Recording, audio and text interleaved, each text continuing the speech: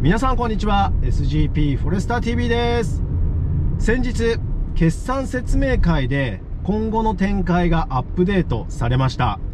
その中で気になる気になる情報がありましたね。それは何かというと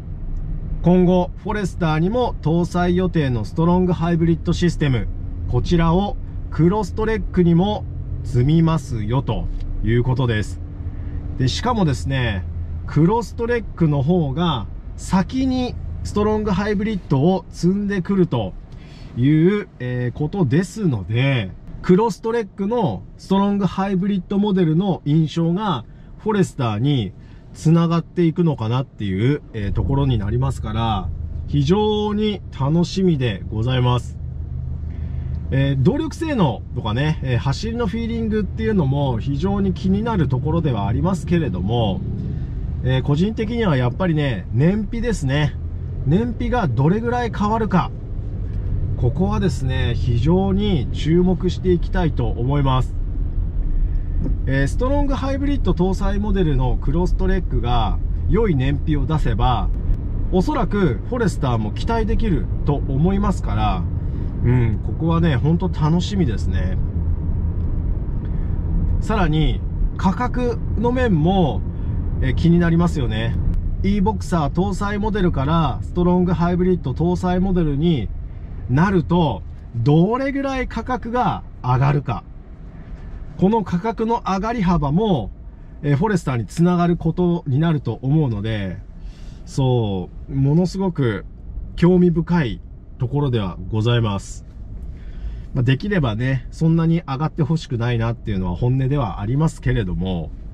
うん、どうなるか楽しみですね。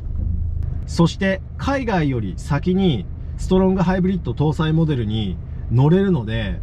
これは楽しみです。本当に楽しみ。どんなフィーリングになるか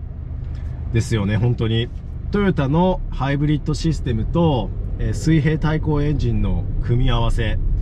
これによってどんなスバルらしい走りを出してくるのか。ものすごく興味深いところですよね。でおそらく現行のクロストレックに乗っている方は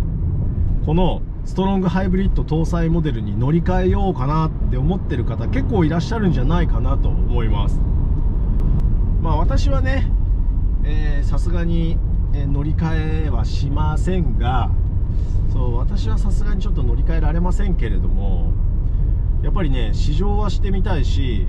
じっくりね長距離乗ってみたいですよねそうまあチャンスがあれば、ね、長距離試乗も、え、したいなとは思いますが夏から秋にかけての、まあ、スバルの動向っていうのもですねとてもとても楽しみになりましたねそして気になるフォレスターの国内仕様ですけれども、まあ、なんだかんだ言って来年のえー、発売になるんじゃないかなと。発表は今年でも、発売は来年かな？うん。と予想はしております。なので、えー、まだまだ先のこと ですよね。本当まだまだ先のことなんですけれども、まあ、ちょっとね、首を長くして待ちたいと思いますが、まあ、今年中にクロストレックのストロングハイブリッド搭載モデルは味わうことができそうですからここはねとても良いポイントだなと思います。ただいまロッキーさんの近くにいるのでちょっと行ってみようかなと思います、えー、アウトバックウィルダネス2022年モデルの、中古車がね多分まだあると思うのでちょっと見に行ってみましょうか。あるかな？売れちゃったかな？どうだろう。さあさあウィルダネス。ああったあった。まだありましたね。ウィルダネス。フォン目立つところに止まってる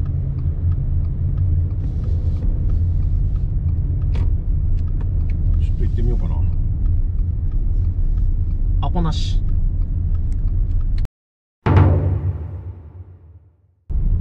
今ですねアポなしで行ってみようかなと思ったんですけれどもちょっと車が多くて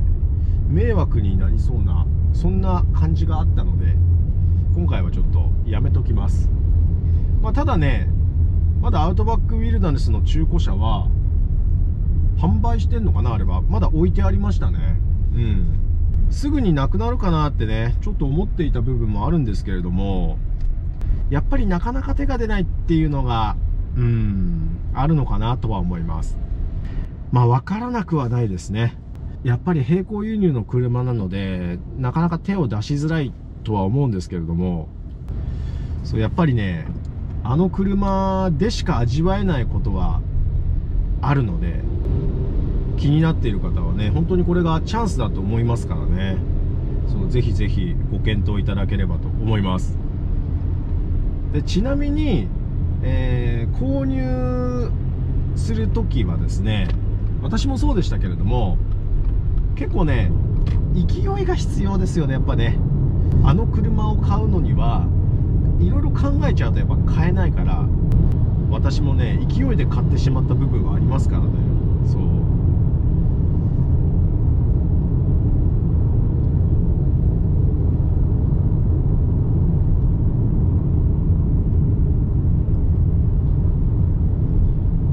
このチャンネルにはですね、あの、アウトバックウィルダネスに関する動画、いろいろアップして、メリット、デメリット、あとお金のことなんかについてもですね、お伝えしておりますので、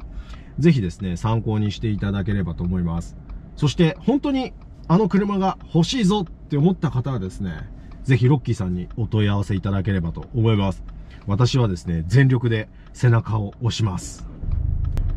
ということで、今回はですね、えー、クロストレックにストロングハイブリッドが搭載されますよ。そして、アウトバックウィルダレスの中古車、まだ置いてありました。ということをね、お届けいたしました。でも今後、ほんとね、夏から秋にかけての、スバルの展開がとてもとても楽しみですね。クロストレックのストロングハイブリッドモデルはね、フォレスターにつながる部分もあるから、非常に興味深い、え、ところではあります。私個人的に今気にしているのは、燃費ですね。燃費の面。そして価格の面。そして走行フィールですね。このあたりが非常に、え、気になります。このチャンネルでもクロストレックのフルハイブリッド搭載モデルいろいろお伝えしていきたいと思いますので、ぜひチャンネル登録をしてお待ちいただければと思います。それではまた次の動画でお会いしましょう。